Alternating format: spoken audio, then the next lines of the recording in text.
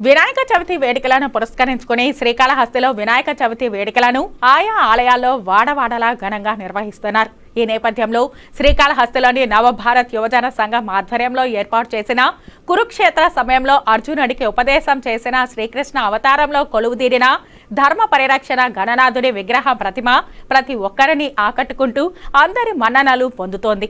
నవభారత్ యువజన సంఘం వినాయక చవితి కమిటీ సభ్యులు మాట్లాడుతూ ఏ యుగంలోనైనా అధర్మం ఎక్కువైనప్పుడు భగవంతుడు ఏదో ఒక రూపంలో వస్తారని దానికి ఉదాహరణ త్రేతాయుగంలో రావణాసుని సంహరించిన రామ అవతారం ద్వాపర యుగంలో అధర్మాన్ని చేస్తున్న కౌరవుల నుంచి పాండవులను కాపాడడానికి కృష్ణావతారం. ఇలా ఒక్కొక్క యుగంలో భగవంతుడు ఒక్కొక్క అవతారం ఎత్తి ధర్మాన్ని రక్షిస్తున్నాడని అదేవిధంగా నేటి కలియుగంలో అధర్మాన్ని అన్యాయాన్ని అరాచకాలని భగవంతుడు గమనిస్తున్నాడని ఎవరైతే అధర్మ వైపు పోతున్నారో వారి కర్మానుసారాన్ని ఎవరూ తప్పించుకోలేరని కాబట్టి ప్రతి ఒక్కరూ ధర్మం వైపు నడవమని ఈసారి ఈ సందేశాన్ని ఇచ్చే విధంగా ధర్మ పరిరక్షణ గణపతిని కొలువుదీర్చామని కాబట్టి ప్రతి ఒక్కరూ ధర్మం వైపు నడవాలని తెలియజేశారు.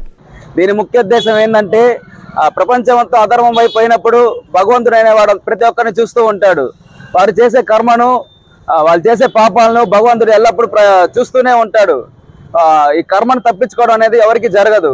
అలా అదే విధంగా మీరందరూ మంచి మార్గంలో నడుస్తూ అందరికి పుణ్యాలు చేస్తుంటేనే మీకు ఫ్యూ ఫ్యూచర్లో కూడా మీ అందరికి మంచి జరుగుతుంది. భగవంతుడు అనేవాడు మిమ్మల్ని కాపాడుతాడని మీ అందరికి తెలియాలని చెప్ చెప్పాలి.